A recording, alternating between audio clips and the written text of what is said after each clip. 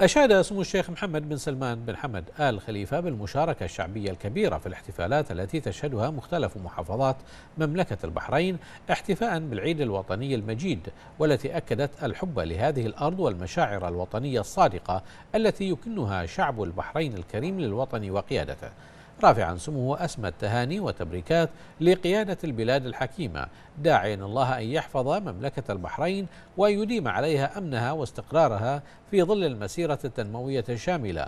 بقيادة حضرة صاحب الجلالة الملك حمد بن عيسى آل خليفة عاهل البلاد المفدى حفظه الله ورعاه.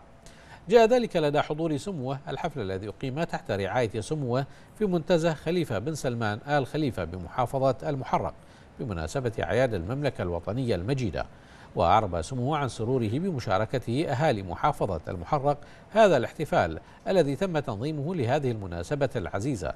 منوها سموه بحسن التنظيم والإعداد لهذا الاحتفال شاكرا سموه كل من أسهم في إنجاح هذه الفعالية. وفي بداية الاحتفال ألقى السيد سلمان بن عيسى بن هندي محافظ محافظة المحرق كلمة رفع فيها أسماء آيات التهاني لقيادة البلاد بمناسبة أيام الوطن المجيدة داعيا الله أن يحفظ مملكة البحرين ويحقق لها وشعبها الكريم المزيد من الرفعة والتقدم في العهد الزاهر لحضرة صاحب الجلالة عاهل البلاد المفدى حفظه الله ورعاه. معربا عن شكر وتقدير محافظة المحرق لسمو الشيخ محمد بن سلمان بن حمد آل خليفة على رعاية سموه ومشاركته أهالي المحافظة. هذه الاحتفالات الوطنية. كما ألقى العميد زهير العبسي نائب محافظة المحرق كلمة قال فيها إن احتفالنا في هذا اليوم هو امتداد لأعراسنا الوطنية ونجاحات متعاقبة على كافة الأصعدة. وهي أيضا مواصلة لأيام المحرقة المفعمة بالوطنية والولاء للوطن وقيادته الحكيمة.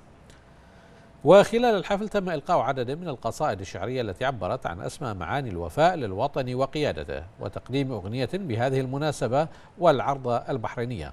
بعد ذلك قام سمو الشيخ محمد بن سلمان بن حمد آل خليفة.